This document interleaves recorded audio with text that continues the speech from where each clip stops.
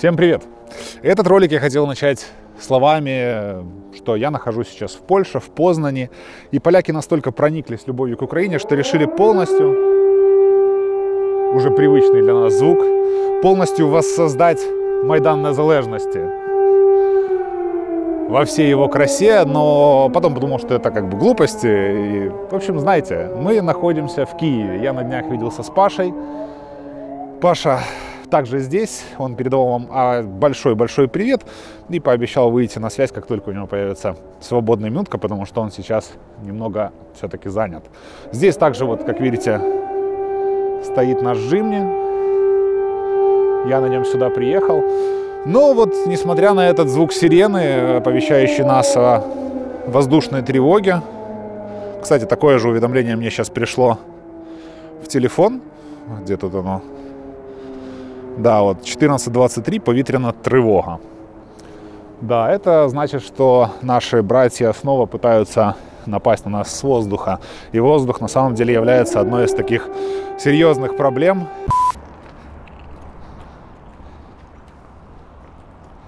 Вот так выглядит русский мир в действии.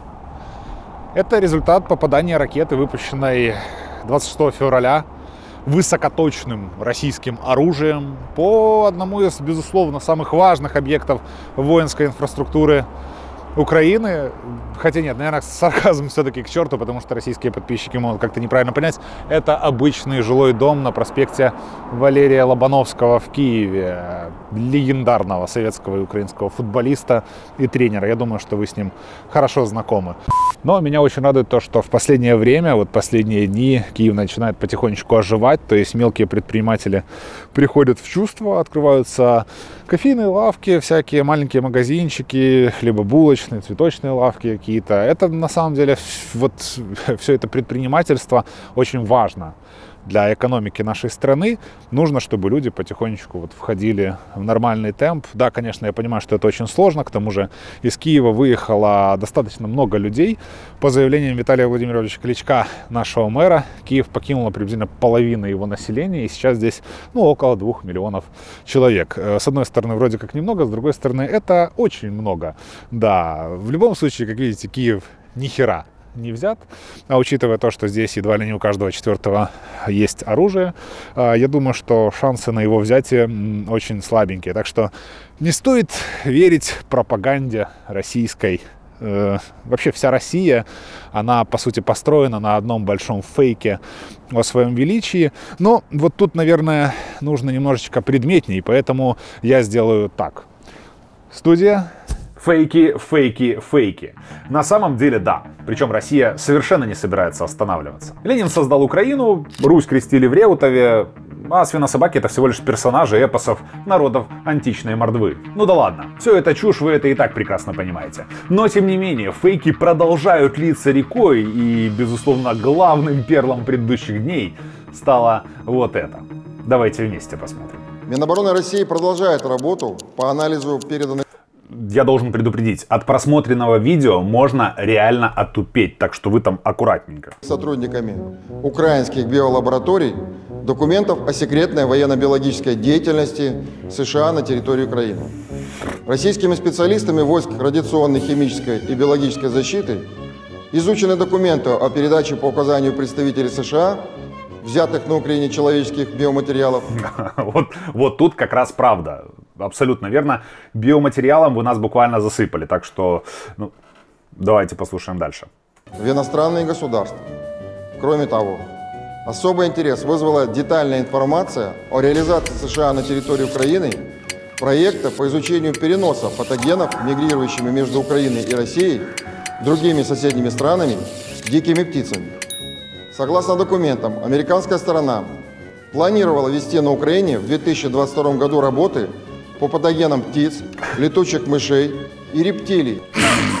Рептилий. То есть, ну, ладно, птицы, тут еще понятно, хотя тоже не сильно. То есть заразить птиц для того, чтобы они перелетели в Россию. А почему птицам не разлететься по территории, например, Украины? И, да, да, это вообще какой-то бред. Но рептилий. То есть, типа, заразить ящерицу и ждать, пока она перебежит через границу? Ну, думаю, тут, наверное, никому не нужно объяснять дополнительно, что рептилии, в общем-то, не мигрируют. Их ореол обитания — это там, ну, в радиусе 100 метров от, ну так сказать, дома, и только в случае вынужденной миграции некоторые змеи могут переползать на другие территории на расстояние до 5 километров, но это абсолютный максимум. И более того, эти рептилии, ну то есть змеи в частности, будут переползать на 5 километров только в случае перемещения в более теплые регионы, ну уж явно никак не в Россию. Я думаю, что если вы даже не учились в школе и не знаете об этом, то вы эту информацию можете легко загуглить. Google же еще работает. Ну или за Яндексе, там, не знаю. В общем, ладно. Но россияне в это верят. То есть это же не просто так вот это вот все навешивают. Давайте смотреть дальше. И рептилий с дальнейшим переходом к изучению возможности переноса ими африканской чумы свиней и сибирской язвы. Сибирской язвы. Причем вы замечаете, как этот мудозвон реально охреневает от того, что он сам говорит? Ну, как говорит? Читает суфлера. А, я думаю, что нужно было идти дальше и говорить о драконах. Да, о боевых драконах, не просто испепеляющих русских миротворцев Аки Байрактар.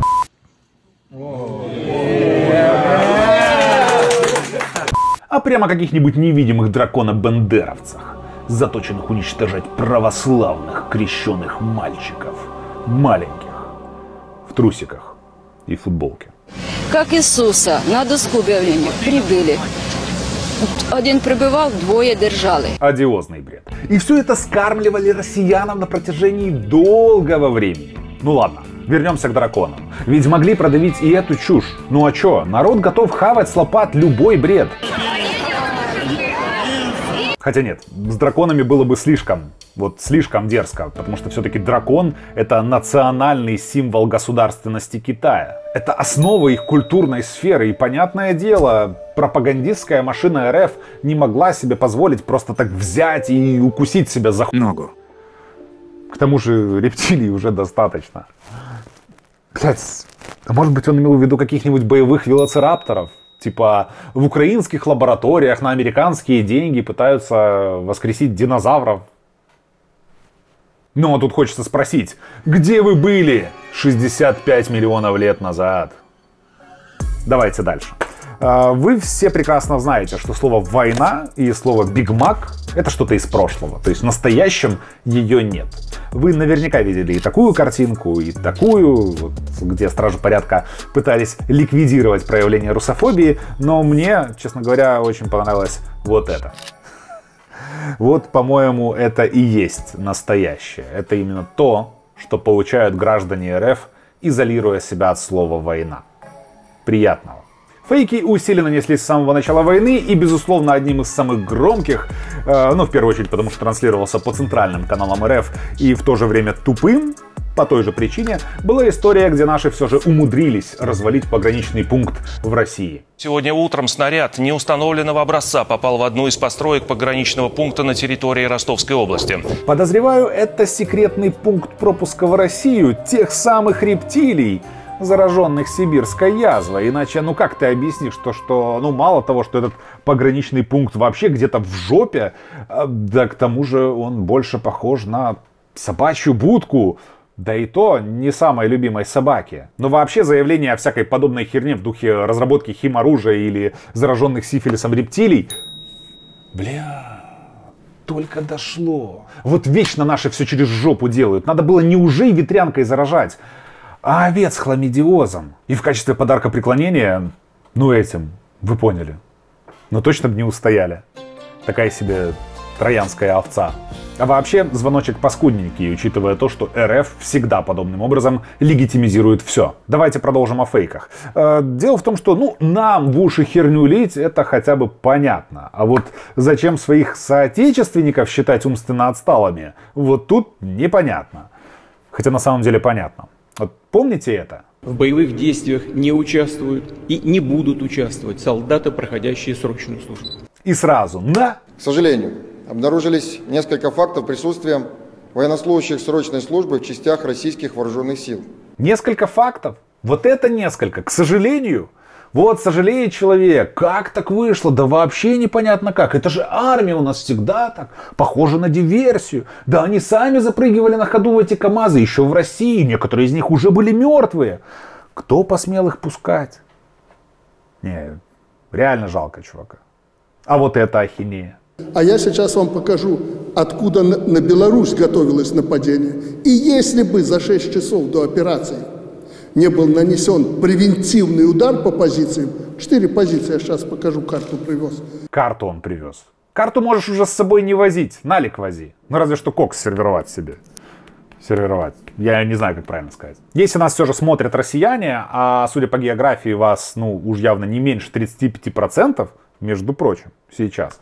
Ну и белорусы, понятное дело. И надеюсь, хотя бы часть из вас в адеквате. Так вот, как у вас укладывается вот это в голове? То есть Украина дождалась, когда на границе накопится критическая масса войск Беларуси и России и решила нападать. Но реально, если вы продолжаете в это верить, то у меня для вас плохие новости. Лишняя хромосома — это вообще никак не повод для гордости. Дальше. Совершенно недавно в Турции Лавров, это глава МИД РФ, 50-го года рождения, то есть ему в этом году 72, наверное. И он глава МИД с 2004-го.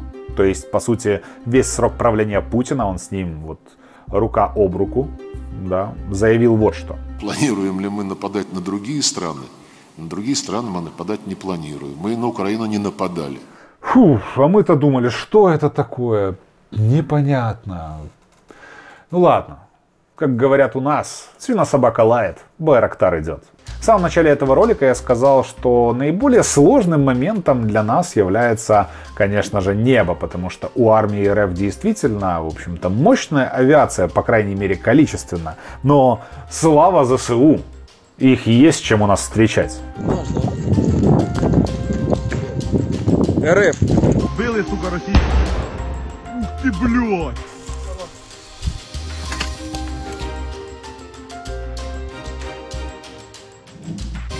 По состоянию на сейчас минус 77 самолетов и минус 90 вертолетов. То есть, ну, не каждый, конечно, приземляется здесь, но с завидным постоянством. Только если раньше пилоты как-то умудрялись выжить, ну, то есть пленных у нас, пилотов именно, много, они катапультировались из своих орудий преступлений, то вот в последнее время тенденция как-то изменилась. Особым шиком, я бы сказал так, является то, что парашюты летчиков ВВС РФ каким-то странным, наверное, правильно сказать, загадочным образом перестали раскрываться.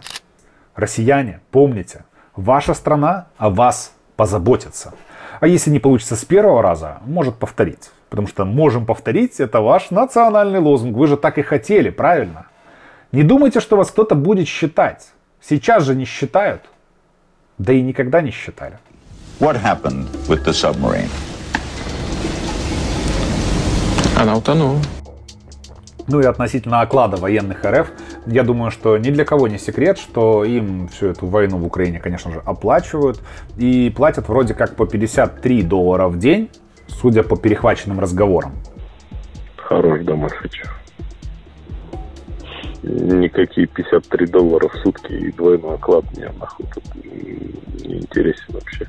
Сложно говорить, так это или нет. Может больше, может еще квартиру там пообещали. Это вполне вероятно. Пообещать как бы не сделать. Но э, вот хочу объяснить так. 53 доллара в день это, в общем-то, неплохая зарплата, потому что вот в месяц это получается 1643 доллара. Плюс официальная, я так понимаю, зарплата. То есть я думаю, что где-то под двуню, под две штуки действительно на руки должно было бы выходить.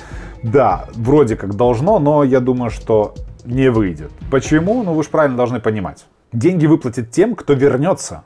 Официально вернется. То есть, если РФ сейчас признает только 500 человек потерь, а это всего 3% от общего количества потерь, то вот все оставшиеся 97% после окончания войны вполне вероятно будут не погибшими, а пропавшими без вести или уволившимися, и после этого отправленными в Украину в виде добровольцев-патриотов.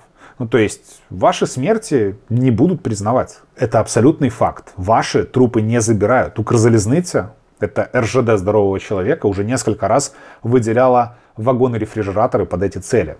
Но РФ сказали, что им не надо. То есть, трупы ваших солдат останутся где-то здесь. Но если ваш сын, российский военный, был ранен, и ему все-таки посчастливилось отправиться в военный госпиталь, и он не был прикопан своими же на месте, э, такие слухи, к сожалению, ходят, я не готов утверждать, что это факт, но тем не менее, то вы же правильно понимаете, он получит свой оклад ровно за тот период, сколько он был на передовой. То есть три дня 150 долларов, неделю продержался 350.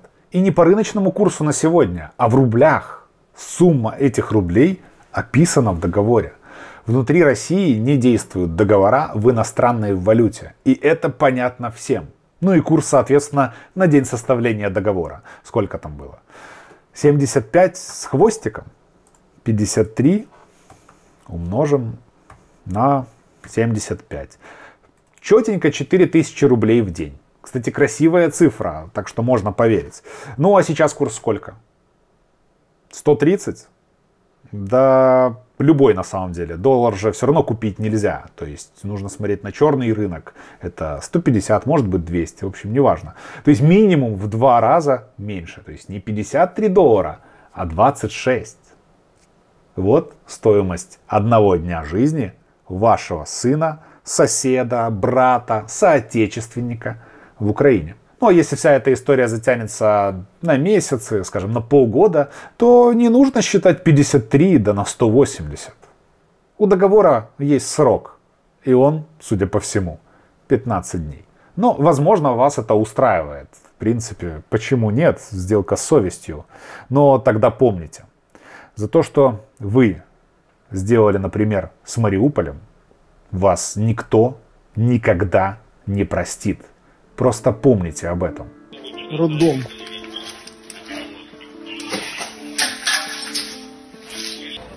Авиация сработала по роддому.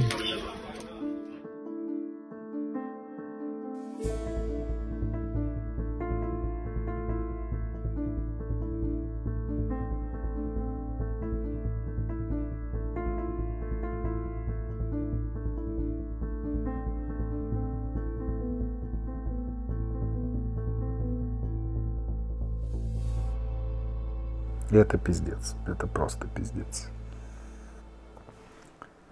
Но хотелось бы закончить чем-то более позитивным. Сергей Бабкин переписал свою легендарную песню «Солдат». Ею и закончим.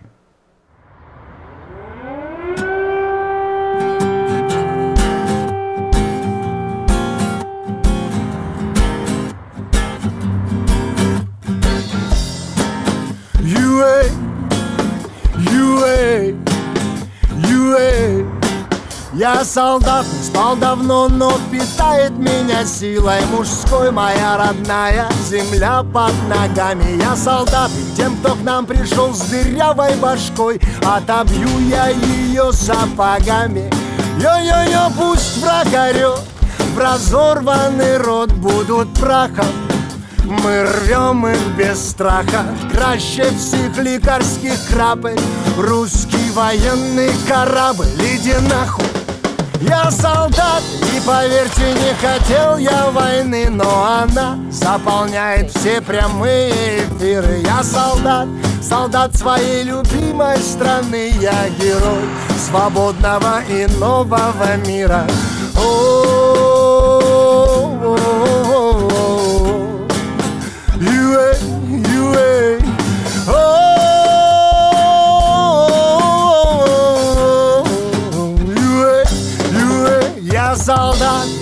вижу ракеты, летящие в мирный дом. Это ад и Содом. Я очень зол и силен, нас таких миллион. Пошел вон, Вавилон! Я солдат, и я знаю свое дело, мое дело Стоять, чтобы землю усеяли трупы врага Это рага для тебя, мама Ненька, будешь на редненька я солдат, и поверьте, не хотел я войны. Я солдат, но плевать уже на рваные раны. Я солдат свободной и великой страны. Я герой, обо мне напишут вскоре романы. О,